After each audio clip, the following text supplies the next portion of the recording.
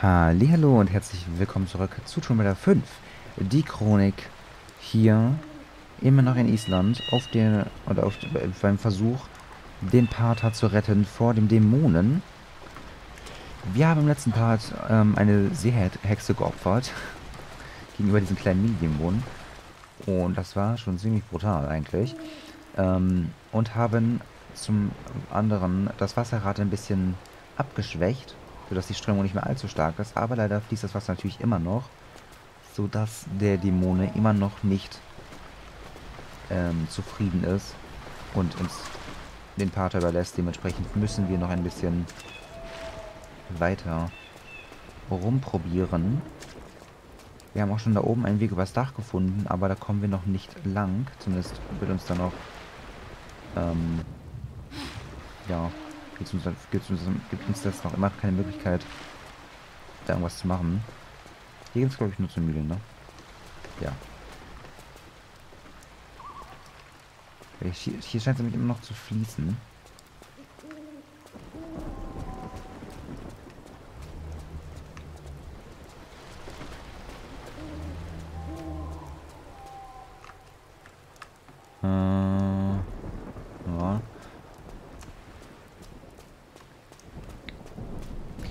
Na ja, gut.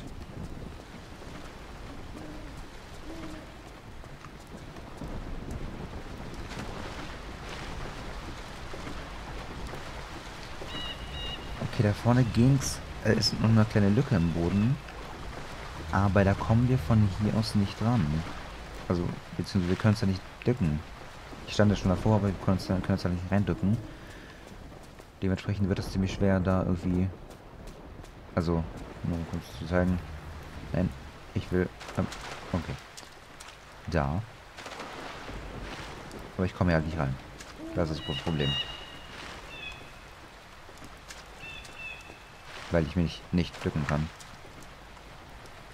Was in einer gewissen Weise Sinn macht, weil sie dann einfach wahrscheinlich ertrinken würde. Aber ja. Boah. Ist ein bisschen unvorteilhaft.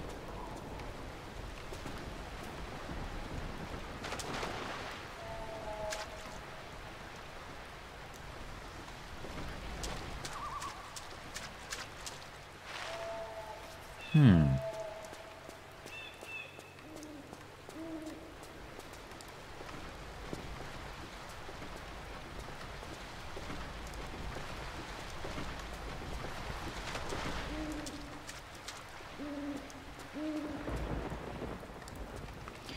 Mal ganz kurz laden. Vielleicht haben wir oben... Ist ein bisschen weit oben.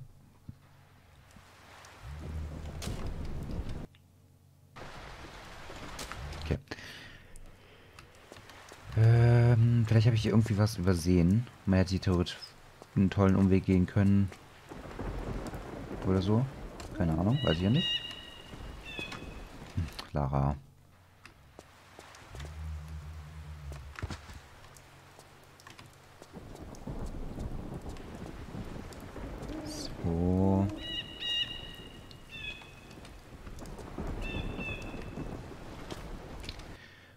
Dass ich gespeichert habe.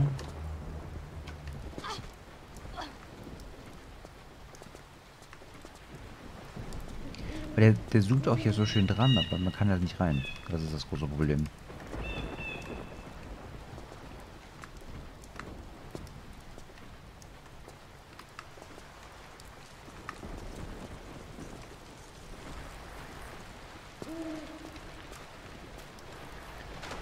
Hey.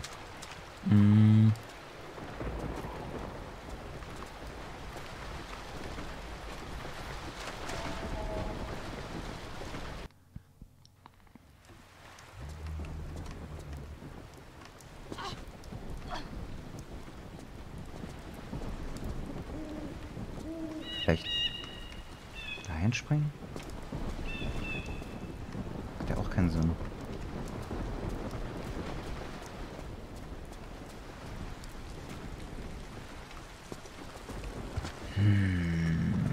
Das ist echt eine gute Frage.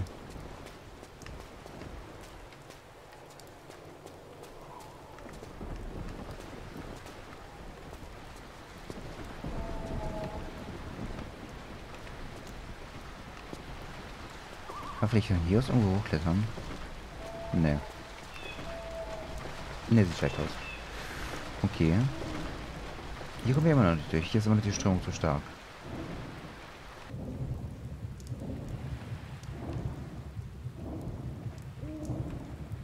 Jetzt geht auf einmal. Willst du mich verarschen? Jetzt beim letzten Mal dreimal versucht. Aber die, das ist ja eh der Weg, wo wir schon waren, ne? Ja. Das ist das Secret gewesen. Also bringt mir das auch nicht viel.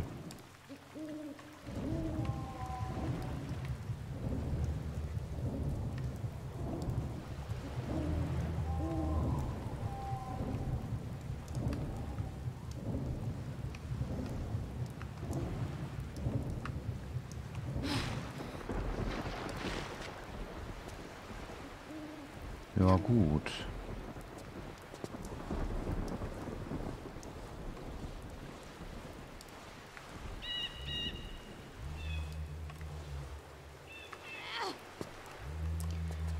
Es muss ja einen Grund haben, dass wir jetzt auch hier hin können.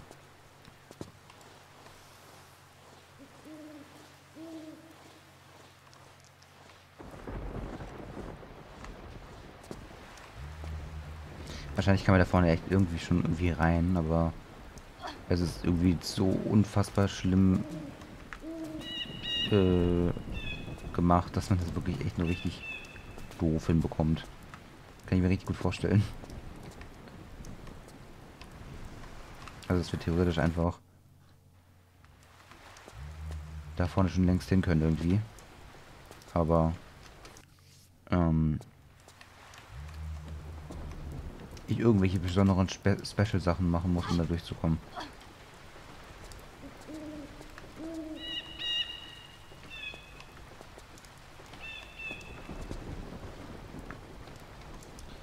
Also will halt nicht hier durch, das ist das Problem. Es ist ein unoffensichtlicher Kriechgang, aber sie, sie will da einfach nicht durch. Das ist das große Problem.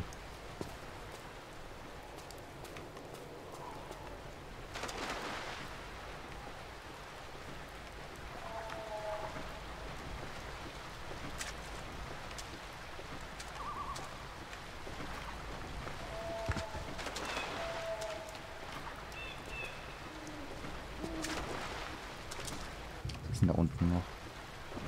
Das ist nur der... Ach, da ist gar nichts. Okay, das ist nur die Kamerafahrt gewesen.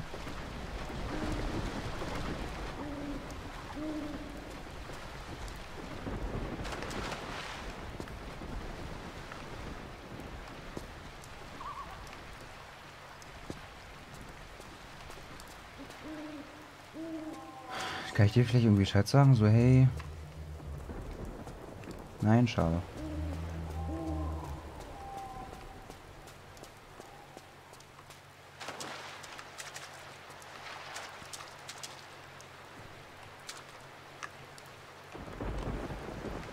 Nee.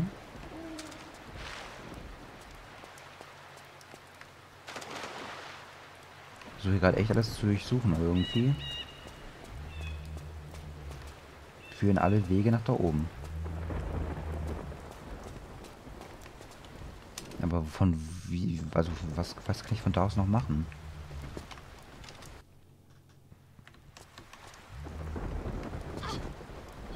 Es muss ja noch einen anderen Weg geben, außer das, wo es offensichtlich nicht weitergeht. Ansonsten wird es ja da reingehen.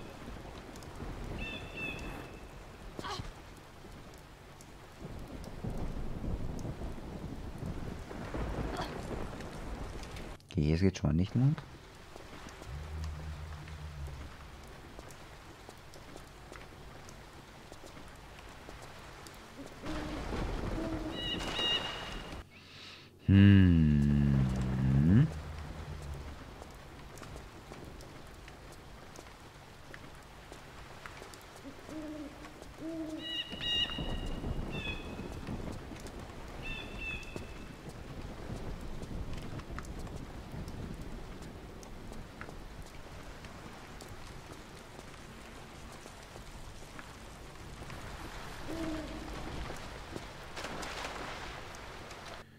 Okay, okay, okay.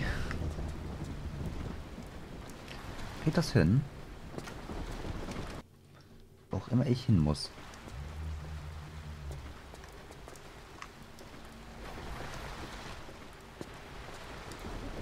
Ja. Also. Ich war gerade schon sehr confused, wo ich bin.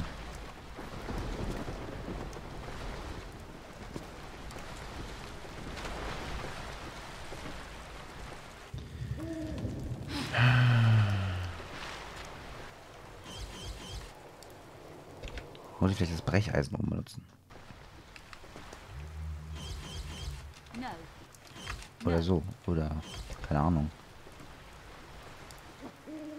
Weiß ich nicht. Was kann man noch so nutzen?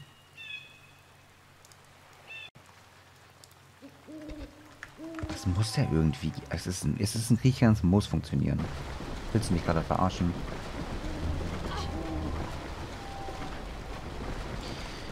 Ja, das habe ich gerade zehnmal versucht.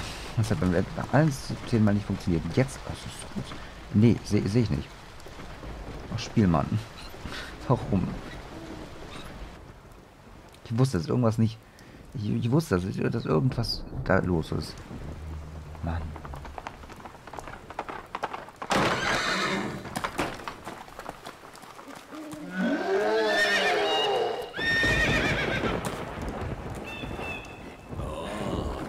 seine Aufgabe gut erledigt. Zum ersten Mal in Äonen koste ich den süßen Geschmack von Freiheit. Fürchtest du mich jetzt nicht? Du hast deinen Zweck gut erfüllt. Soll ich deswegen Gnade walten lassen wie ein wohlmeinender Gott? Das wäre nett, aber ich rechne nicht damit. Doch, ich werde dich verschonen, weil dich dann ein Schicksal erwartet, das viel schlimmer ist als der Tod. Denn wenn du aus dieser Welt scheidest, wirst du im Himmel nicht mehr willkommen sein, weil du nämlich einen Dämonen freigelassen hast. Mein Glauben wird mich vor geringen Dämonen wie dir beschützen. Aua.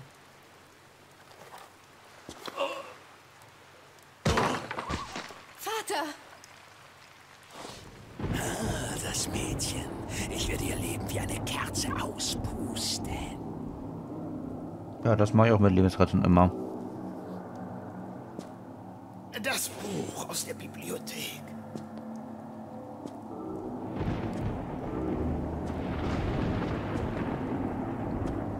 Jetzt mach doch. Nimm es.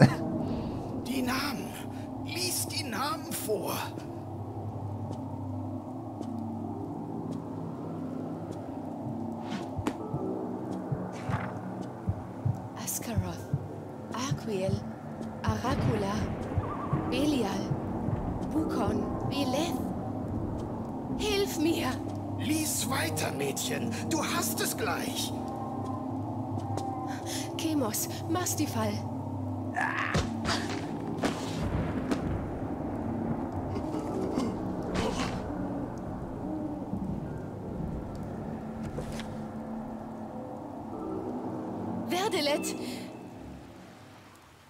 Ah, was ist das? Ich will zuschlagen, aber ich kann nicht. Gut gemacht, Mädchen. Und bevor du fragst, das Buch, das du gefunden hast, ich hatte selbst danach gesucht, konnte es aber nicht finden. Ich habe einfach angenommen, dass du es hast. Und zum Glück hatte ich damit recht. Aber wie... Wenn du einen Dämonen beim Namen nennst, hast du Macht über ihn. Und du hast seinen Namen genannt. Er gehört dir, Lara. Dafür werdet ihr in der Hölle schmoren für alle Zeiten. Ich werde euch mit euren eigenen Eingeweiden erdrosseln und dann quetsche ich. Ach, halt die Klappe. Was hältst du davon, wenn Du wir gar nichts, lieber. Ort den Rücken kehren und nach Hause gehen? Ach, fast hätte ich es vergessen. Willst du unserem kleinen Freund da hinten nicht Lebewohl sagen? Zurück, wo du hingehörst. Sehr gut.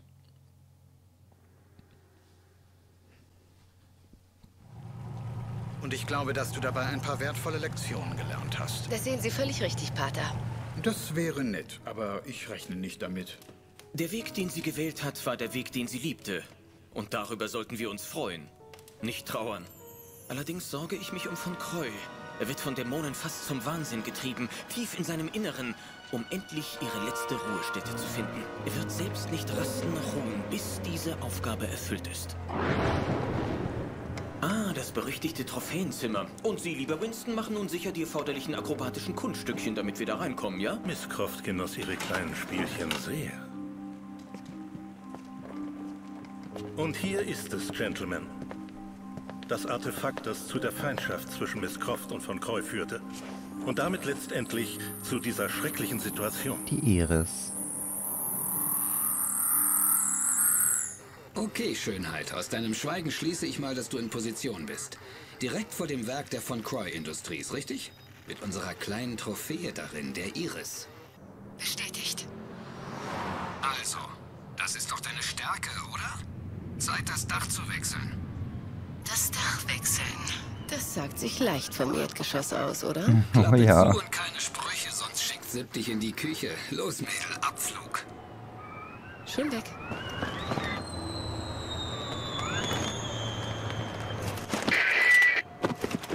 Lara? Bist du da, Lara? Wenn man sich mit diesen verrückten Briten-Tussis einlässt. Hörst du mich? Mann, das war ein Knall. Was zum Henker ist passiert? Vergiss es, Yankee Fatzke. Ich gehe jetzt rein.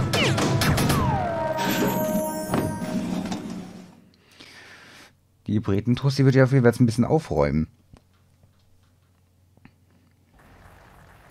Und herzlich Ich bin drin. willkommen. Okay, mal sehen, was wir da haben. Folge dem Schacht bis zum Hauptkorridor. Du bist im 13. Stock angestiegen. Soll manchen Leuten ja Pech bringen. Ja, denen zum Beispiel irgendwelche Begrüßungskomitees? Das ist deine Arbeit, Mädel. Ich bin kein Superheld mit Röntgenblick. Das ist mir auch schon aufgefallen. Eines Tages wirst du dir mit deinen scharfen Sprüchen mal die Zunge abschneiden. Denk daran, der Schalldämpfer an deiner Heckler wirkt nur bei Einzelschüssen. Und je weniger Aufmerksamkeit du erregst, desto gesünder. Klaro? Danke. Aber daran hatte ich auch schon gedacht. Ich will nur sicher gehen, dass du nichts übersiehst. Genug gequasselt. Sag mir Bescheid, wenn du was entdeckst. Tja, könnte etwas höflicher sein, das Mädel. Ach.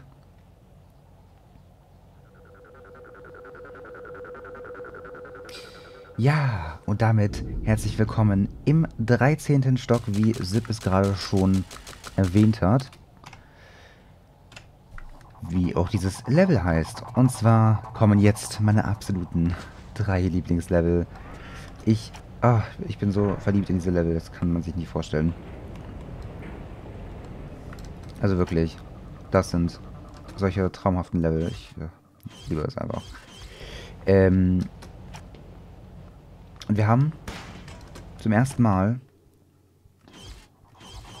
in also seit dem ersten Teil haben wir zum ersten Mal ähm, nur eine begrenzte Waffe. Wir haben nur eine einzige Waffe dabei und die ist auch noch begrenzt von der Munitionsanzahl her. Ähm, das ist natürlich eher unvorteilhaft, aber wir werden, sollen, werden hier eh nicht so krass ballern durch die Gegend rennen. Denn, naja.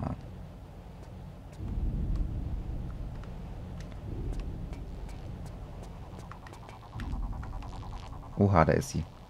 Die Iris, die wollen wir ja. Die haben wir im vierten Teil haben wir sie ja gefunden. Ganz am Anfang im Tutorial. Und, äh, von Croy ist ja dann verschüttet worden erst einmal, weil er die unbedingt haben wollte. Und naja. Er hat es anscheinend aber irgendwie trotzdem überlebt. Wow. Wenn sich da auch nur eine Spinne rein verirrt, ist sie Toast. Und wie kann ich das abschalten? Mach mal kurz Tea Time, Herzchen. Ich arbeite dran. Und mit sowas muss man arbeiten. Beschwer dich lieber nicht. Ich bin dein Auge und dein Ohr. Dann hätte ich gern mehr davon und weniger von dem Mund, der da so dumm rum... Quatscht. Aber ich liebe es. Ich liebe auch diese. Ich liebe es auch, dass Zip jetzt hier wieder am Start ist. Der ist ja auch erst in Legend ist der ja ähm, so wirklich im Kopf eigentlich. Ich habe auch damals immer Ich, ich, ich wusste damals einfach nicht mehr, dass, dass, äh, das Zip hier überhaupt im fünften Teil vorkommt. Ich wusste, dass es, dass es hier einen Techniktyp gibt, aber ich wusste nicht, dass das Zip ist. Dass der auch wirklich Zip heißt. Aber der ist ja später nochmal... Hat er auch noch ein paar Rollen. Finde ich ganz gut, dass sie zumindest ähm, Zip und Winston später äh, in den ganzen Square Enix Siehst du das? Wow, Bis Baby, das sehe ich sogar haben. viel zu viel. Das sieht ja aus wie der Hulk auf Steroiden. Verrätst du mir auch, was das Ding hier macht? Ich bin nicht ganz sicher. Man munkelt, dass VCI an einem neuen Panzeranzug für die Infanterie Das ist ein bisschen schade, dass die jemals abgekapselt sind. Also abgekattet. Da ist mit Sicherheit keine Rüstung für Zivilisten. Da kann ich kaum widersprechen. Und die Waffen? Also mein Bild ist nicht scharf genug für eine genaue Analyse, aber ich würde sagen, das sieht nach Niedrigfrequenzlasern aus. Geringe Reichweite. Aber wenn du den Dingern ins Schussfeld rennst, dann können sie dich in einem Plastiksack vom Spielfeld tragen. Ich verstehe, was du meinst. Wieso sind die Sätze immer so abgekattet? Hm. Was ist denn liegt so ein, da liegt ein Secret, so cool. Äh, aber das ist wieder so eine Sache, ich- das ist ein, einfach einer der Gründe, warum ich ähm, den fünften Teil vor allem diese drei Level, die jetzt eben folgen, so unfassbar liebe. Weil es einfach. Es ist nicht. Es ist kein typisches, kein typisches Tomb Raider. Mit, äh, Rätsel machen und rumballern und dies und das, sondern es ist wirklich einfach so, so ein bisschen Agenten-Style. Das ist halt richtig, richtig cool. Man muss, man muss schleichen, muss vorsichtig sein, dass Leute einen nicht entdecken, man muss Leute beobachten, um irgendwelche Sachen rauszufinden und dies und das ist richtig cool. Wir haben auch, nur mal ganz kurz, hier das Headset, das haben wir noch gar nicht gezeigt. Hier das Headset haben wir noch schön dabei, mit Infrarotsicht natürlich, weil ohne geht er gar nicht. Und natürlich unsere HK-Pistole hier. Und das ist einfach, ah, ich liebe auch ihr Outfit und diesen, das ist einfach fantastisch. Ah, so, aber ich würde sagen, wir kümmern uns um dieses wundervolle Level und auch die nächsten zwei wundervollen Level ähm, erst ab dem nächsten Part. Oder führen die da ein bisschen weiter. Und ich würde sagen, ich mache hier erstmal einen Cut und wir sehen uns nächsten Part wieder von Twitter 5, die Chronik. Bis dahin, sag ich ciao.